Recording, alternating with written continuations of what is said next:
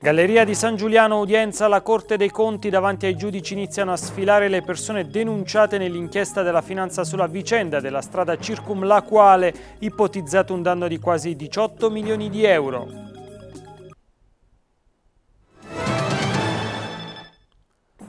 L'acqua di tutti, conferenza e consiglio. Il Movimento 5 Stelle presenta una mozione a Palazzo Moffa sulla gestione idrica. L'ARPA mette al centro la tutela. A Campobasso Assemblea dei Presidenti dei Consigli regionali sulle riforme costituzionali.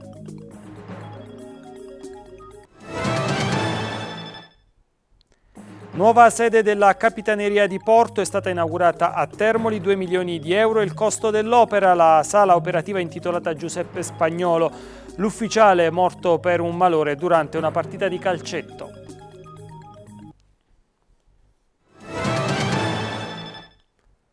Le indocce di Agnone sfilano a Milano sabato il giorno del fuoco nell'ambito di Expo sui navigli portatori delle torce infuocate, tradizione millenaria della città altomolisana sarà consegnata. A Milano anche la campana della Fonderia Marinelli.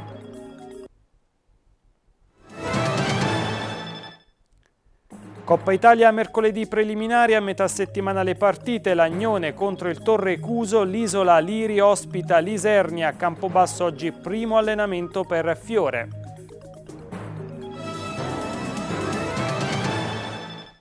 Buon pomeriggio, benvenuti al nostro TG delle 14. Prima udienza questa mattina alla Corte dei Conti sulla vicenda della Circum, la quale si tratta di un'inchiesta della Guardia di Finanza per la quale sono state segnalate per un presunto danno erariale di quasi 18 milioni di euro 25 persone. Allora sentiamo come è andata nel servizio di Anna Maria Di Matteo.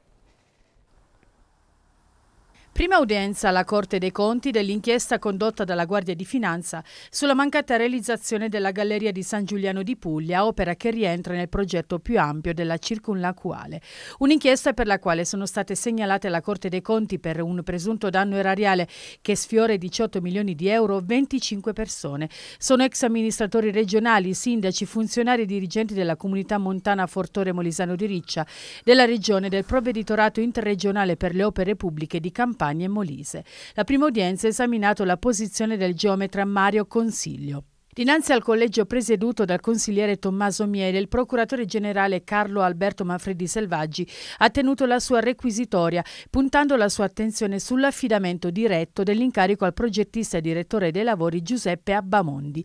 Secondo il procuratore, la procedura seguita per l'affidamento dell'incarico avrebbe violato la disciplina che regola la materia degli appalti pubblici. Il tutto avrebbe quindi provocato un danno di un milione e mezzo di euro e il geometra Consiglio accusato di non essersi opposto all'incarico dando parere favorevole. L'avvocato Gianni Di Giandomenico, difensore di Consiglio, ha invece precisato che il geometra non ha alcuna responsabilità.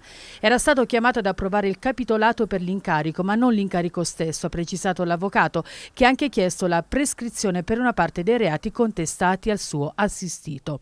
Un confronto tra accuse e difesa particolarmente acceso, con il procuratore che ha ribadito la richiesta di condanna del geometra, che è solo la prima delle 25 persone che saranno chiamate davanti alla Corte dei Conti. Tra queste c'è anche l'ex presidente della regione Michele Iorio, che ha difeso l'opera utile, ha detto, a far uscire dall'isolamento il fortore. È opportuno precisare che la giunta regionale da me presieduta si è impegnata nel 2012 per dare soluzione a un'opera da troppo tempo incagliata, ha dichiarato Stato, visto che parliamo di un appalto che risale al 1994. La scelta fatta dalla Giunta, ha proseguito Iorio, è stata quella di nominare il commissario, ossia il provveditore alle opere pubbliche Donato Carlea, pure lui segnalato alla magistratura contabile nei confronti del quale confermo estrema fiducia e stima. Sono certo di poter dimostrare insieme ai miei colleghi la perfetta buona fede della nostra iniziativa, ha proseguito Iorio, e spero che sul proseguimento dell'opera si pronunci anche l'attuale governo regionale regionale, assumendo le opportune iniziative di programmazione, ha concluso Michele Iori. In attesa della decisione del TAR continua lo scontro sulla costituzione dell'EGAM. L'ufficio giuridico di Palazzo Moffa boccia la delibera approvata dalla giunta regionale e sollecita l'approvazione di una legge. Intanto il Movimento 5 Stelle presenta una mozione sulla gestione dell'acqua. Sentiamo Giovanni Minicozzi. Una mozione presentata a Palazzo Moffa dai pentastellati Patrizia Manzo e Antonio Federico sulla gestione del servizio idrico integrato ha rilanciato il tema dell'acqua pubblica e della imminente costituzione dell'EGAM nelle more della decisione del TAR sul ricorso contro la delibera della giunta regionale presentato da 16 comuni del Molise. Il documento è iscritto al primo punto della prossima seduta del Consiglio regionale ma a dire il vero i firmatari della mozione non sembrano contrari alla nascita dell'ente consortile che gestirà la distribuzione dell'acqua nell'unico ambito territoriale previsto in regione.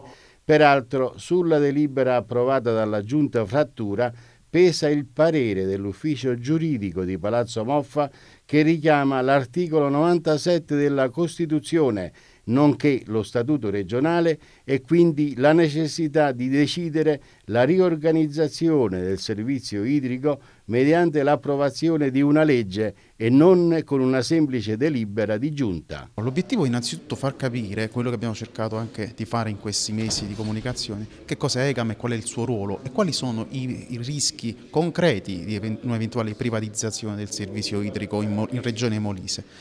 Lì, quello che vogliamo dare è un indirizzo politico che eh, metta al centro la tutela dell'acqua come bene pubblico, indifferibile, che deve essere gestito da un ente o un organismo pubblico, non affidato a un privato. E in questo caso è, sono i sindaci in seno all'EGAM che hanno il, il, cerino in mano e sono loro che cercando di evitare anche eventuali commissariamenti che potrebbero aprire le porte veramente poi dopo a degli affidamenti diretto, diretti a dei privati, che siano i sindaci a prendere una responsabilità importante o, o con l'utilizzo di Molise Acque e qui deve essere essere la regione Molise a intervenire oppure nel, nel loro, nella loro autonomia decisionale in, eh, creare un organismo fatto dai sindaci. Il disciplinare però prevede ampi poteri al direttore generale.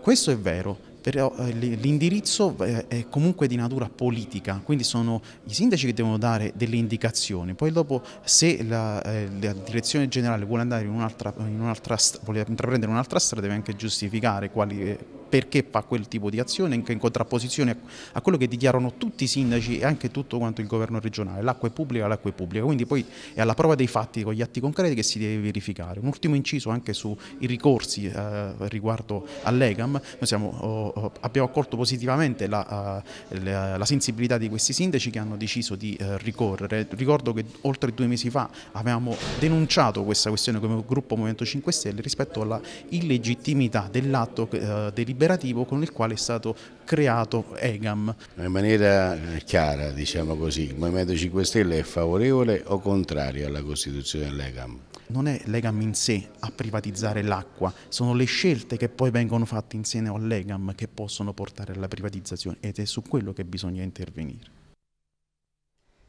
È convocata l'assemblea plenaria della conferenza dei presidenti dei consigli regionali per oggi fra poco alle 14.30 a Campobasso al convitto nazionale Mario Pagano. All'ordine del giorno dell'assemblea presieduta dal coordinatore della conferenza eh, e presidente del Consiglio regionale del Friuli Venezia Giulia Franco Jacob una eh, riflessione sugli sviluppi della discussione in corso al Senato sulle riforme costituzionali, gli aggiornamenti in merito alle procedure per il referendum abrogativo sulle norme del cosiddetto decreto Sblocca Italia in materia di semplificazione idrocarburi e la proposta del Presidente del Consiglio regionale della Basilicata, eh, Piero Lacorazza, eh, sulla valorizzazione del linguaggio dei segni e si è svolta a Campobasso la prima conferenza regionale del piano di tutela delle acque promossa dall'ARPA Molise, l'ha seguita per noi Silvia Valente. Proteggere l'acqua dall'inquinamento e promuovere il suo utilizzo in modo sostenibile. Sono questi gli argomenti di cui si è discusso durante la prima conferenza regionale sul piano di tutela delle acque organizzata dall'ARPA Molise. Obiettivo dell'incontro è stato quello di portare all'attenzione del pubblico, oltre che degli enti di competenza, le procedure di intervento adottate, le tecniche di pianificazione e i risultati delle attività messe in atto. Fra queste, hanno specificato dall'ARPA, ci sono le attività di monitoraggio e di studio delle acque superficiali, sotterranee, lacustri e marine marine che vengono registrate in specifici report annuali, redatti dall'ente già da oltre dieci anni. Solo di recente la Giunta regionale ha deliberato l'affidamento di tali pratiche all'ARPA in modo ufficiale, in linea con le direttive comunitarie. La Regione cerca oggi di rimettersi al pari adottando questo importantissimo strumento di pianificazione che consentirà, una volta adottato, anche di interagire per esempio sul PSR. Quindi a parte l'adempimento normativo esiste quello sostanziale. L'acqua è un bene comune assolutamente bisognevole di ampia tutela, la nostra Regione ne è abbondantemente piena, per cui eh, questa risorsa va utilizzata nel migliore dei modi e questo contribuirà al cosiddetto sviluppo sostenibile. Cediamo diversi milioni di metri cubi di acqua alle altre regioni limitrofe, in maniera particolare il sud è, come sapete, abbastanza avaro di questa preziosissima risorsa, la nostra regione al contrario ne ha in maniera adeguata, tale da determinare lo sviluppo proprio e quello delle regioni limitrofe. L'acqua rappresenta dunque per la regione un bene prezioso e il suo stato di salute è di fondamentale importanza. Beh, io direi che la condizione delle nostre acque è una condizione ottimale, eh, i, nostri parametri sono sicuramente buoni ma questo non deve fare abbassare la, la, soglia di attenzione che al contrario oggi deve essere molto vigile e ci sono strumenti tecnologici per controllare sempre di più e anche a distanza e noi cerchiamo di, di passare dalla fase di controllo, eh, diciamo, dalla fase di pianificazione a quella di controllo che è la fase ben più importante sia per quanto riguarda la matrice dell'acqua ma anche nelle altre due importanti grandissime matrici che sono quella dell'aria e quella della, del, del suolo. Rimaniamo in eh, tema di acqua e torniamo a parlare di inquinamento del fiume Carpino nella periferia di Isernia perché da qualche mese il problema si sta ripresentando, lo ha denunciato il titolare di un allevamento di pesci, di fatto impossibilitato a riavviare la sua attività. Sentiamo Sergio Di Vincenzo.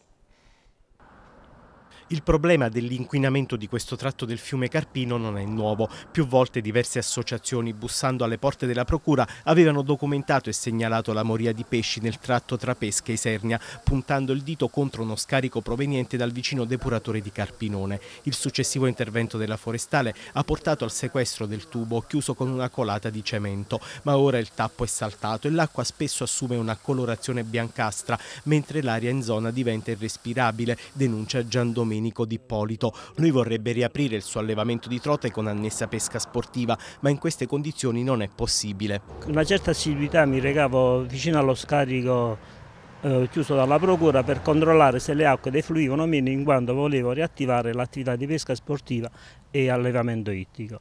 Per un certo periodo le acque non fuoriuscivano, ma da 3-4 mesi continuamente, assiduamente le acque fuoriescono perché il tappo si è distaccato da, come chiusura e permette la fuoriuscita di acque inquinatissime.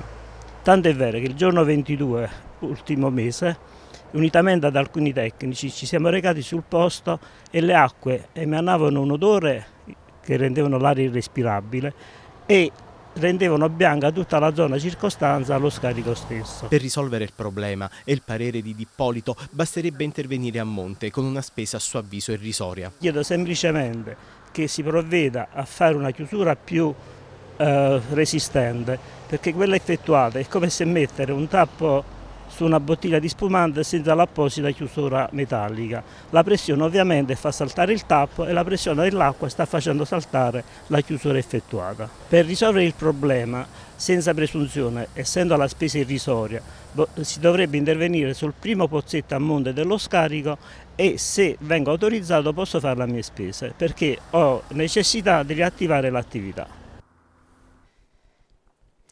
Anche Gerardo Bianco, presidente degli ex parlamentari, al convegno di domani pomeriggio a Isernia, nell'aula magna dell'ITIS per l'evento inaugurale della Fondazione Lello Lombardi.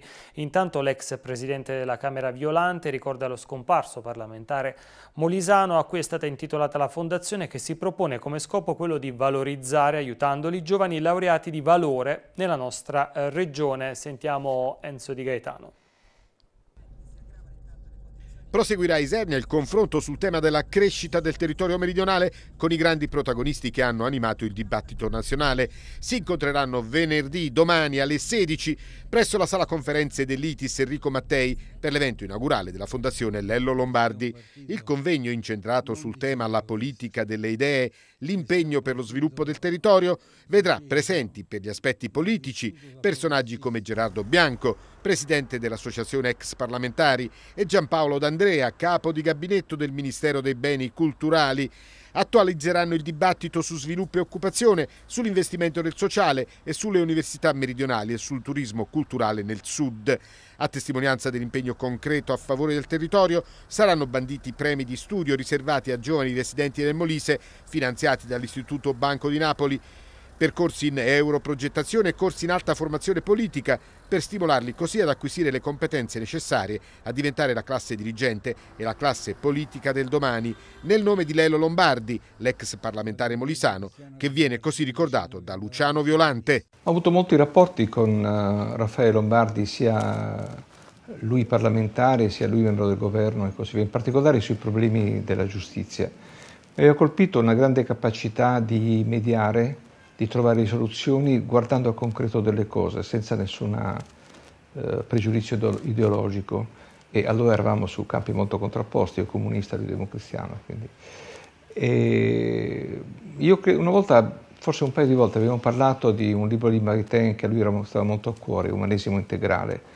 Ho l'impressione che quella lettura lo avesse molto condizionato nella sua formazione politica e culturale. Era un uomo di cultura anche molto attento al, al cuore delle cose, molto attento ad andare al di là di alcuni tabù che erano propri del mondo politico di quel tempo. Il, la necessità del partito politico per garantire la democrazia, e su questo ci troviamo profondamente d'accordo, e un aspetto che mi ha, ora riflettendo su di lui, che mi ha colpito colpì molto a suo tempo, era questa sua attenzione alle questioni fiscali delle famiglie eh, un fisco specifico per la famiglia era per lui un dato che, tema che è tornato all'attualità periodicamente anche recentemente. Era per lui un punto fondamentale. Credo che ecco, questa somma di dati, attenzione reale, una intagliatura di valori molto ferri, molto radicati sulla scia, appunto, a me sembrato, delle posizioni di Maritain e una sua attenzione specifica ai problemi concreti del funzionamento del sistema politico e soprattutto evitare la frammentazione dei partiti eh, cambiando anche il sistema elettorale. Queste erano le cose che mi avevano colpito di più. Un uomo che aveva coerenza, lucidità e attenzione nella ragione degli altri. Credo che fossero cose non facili da trovare ieri, ancora difficili da trovare oggi. Rinasce in provincia di Isernia il partito della democrazia cristiana che dopo la sentenza della Corte di Cassazione ha assegnato definitivamente il simbolo al segretario nazionale Sandri, eh, nominato il nuovo segretario eh, provinciale del partito con poteri eh, commissariali. Si tratta di Gigino Mancini che per la democrazia cristiana negli anni 90 rivestì il ruolo di consigliere e assessore al comune di Isernia. A breve l'organizzazione del primo congresso provinciale con l'intervento del segretario regionale Umberto Persichillo. In Europa non si ferma l'emergenza migranti e da Papa Francesco è partito l'invito ai vescovi per ospitare una famiglia di rifugiati in ogni parrocchia. Anche la diocesi di Termoli Larino ha risposto all'appello e si sta preparando per organizzare l'accoglienza. Sentiamo Fabrizio Chionero. In Europa non si ferma l'emergenza migranti alcuni governi continuano a costruire dei muri per fermare l'ondata di persone che fuggono dalla guerra e dalla fame e sperano in un domani migliore. Rispetto a un tema che riguarda tutti i paesi, è stato Papa Francesco a rivolgere un appello ai vescovi del continente chiedendo alle realtà locali di ospitare i profughi garantendo un'accoglienza dignitosa. Un invito arrivato anche nelle parrocchie del Basso Molise a Termoli dove il vescovo Gianfranco De Luca ha inviato una mail a tutti i parroci per verificare la disponibilità di spazi e di persone per ospitare in futuro famiglie di migranti. Il termine del 30 settembre assume un carattere indicativo, fatto sta che le parrocchie non sono rimaste a guardare. Abbiamo dato da subito la nostra disponibilità, ha spiegato Don Benito Giorgetta, parroco di San Timoteo. Ritengo che si tratti di un dovere umano e cristiano e faremo di tutto per attivare una degna accoglienza. Il sacerdote ha precisato che non si tratta di una pratica da smistare o archiviare una volta finito un progetto, ma ha osservato Don Benito occorre fare famiglia instaurando relazioni, aprendosi all'incontro e alle potenzialità di queste persone. Il cantiere dell'accoglienza è dunque aperto in città, in base a quelle che saranno le possibilità di ogni parrocchia, locali, volontari e altre esigenze, su cui sta già operando anche la Caritas diocesana attraverso il sistema di accoglienza per richiedenti asilo e rifugiati, più di 50 le persone già coinvolte sul territorio. Ora sono previste altre iniziative finalizzate all'integrazione, secondo quanto stabilirà la conferenza episcopale italiana che a breve fornirà ulteriori indicazioni. Si è tenuto all'ITIS Marconi, l'industriale di Campobasso, un convegno tra studenti e alcuni delegati del Ministero delle Pari Opportunità sul tema della violenza sulle donne. Sentiamo Valeria Farina. Sono più di 6 milioni le donne vittime di violenza. Ogni due giorni una donna muore per mano di un marito o di un ex compagno. E per educare le generazioni più giovani a questa drammatica realtà, l'ITIS Marconi di Campobasso, dopo a scuola contro la violenza, il progetto di sensibilizzazione che porta avanti da due anni, come evento capitolativo di questo percorso, ha accolto una delegazione del Ministero delle Pari Opportunità. Un momento di incontro e confronto che i ragazzi del Marconi hanno avuto con i rappresentanti del Ministero che a loro volta operano nell'ambito del progetto nazionale Five Men, combatti la violenza contro le donne. Stiamo facendo un progetto che si chiama Five Men e stiamo collaborando come partner del, del Ministero e con la, con la, rete DIRE che è la rete di, di, associazioni di donne contro la violenza, di centri antiviolenza e niente noi facciamo questo lavoro nelle scuole da un po' di anni, da 7-8 anni e abbiamo accettato questo progetto perché appunto era una possibilità anche insomma, di raggiungere tutta Italia praticamente, sono 20 scuole che sono state coinvolte, per cui questa è una delle 20 scuole, attraverso dei video che sono stati realizzati che mettono in scena delle situazioni problematiche eh, nelle relazioni fra uomini e donne, cerchiamo di far uscire fuori eh, vari discorsi e di confrontarci con i ragazzi e le ragazze in questo modo. L'ITIS Marconi si è così ben distinto per l'alta efficienza comunicativa che ha avuto tra i ragazzi, tanto da ottenere riconoscimenti ministeriali. E di questo ne sono soddisfatti non solo i docenti e gli alunni, ma anche la preside. È un percorso veramente molto ricco di stimoli e di opportunità per i nostri alunni, che ha eh, come obiettivo quello di eh, modificare in qualche modo la loro mentalità, cioè di creare una cultura del rispetto degli esseri umani degli esseri umani nella loro totalità, delle donne in particolare. I ragazzi sono stati bravi, la loro manifestazione di interesse ha colpito quindi il Ministero per le pari opportunità e anche la Presidenza del Consiglio dei Ministri, perché qui c'è il partenariato del Dipartimento per l'informazione e l'editoria, oltre naturalmente al partner europeo che è quello fondamentale. Tutto pronto per il giorno del fuoco, eh, l'evento fuori salone a Expo sabato, le indocce di Agnone sfileranno lungo Viale eh, Gorizia, un evento di grande suggestione lungo i Navigli a Milano. Sentiamo. Acquaria, terra e fuoco, i quattro elementi, su di essi il Molise ha voluto improntare la sua presenza ad Expo a Milano, come ha ribadito il governatore Frattura durante la presentazione in giunta regionale del Giorno del Fuoco, sabato, dopodomani.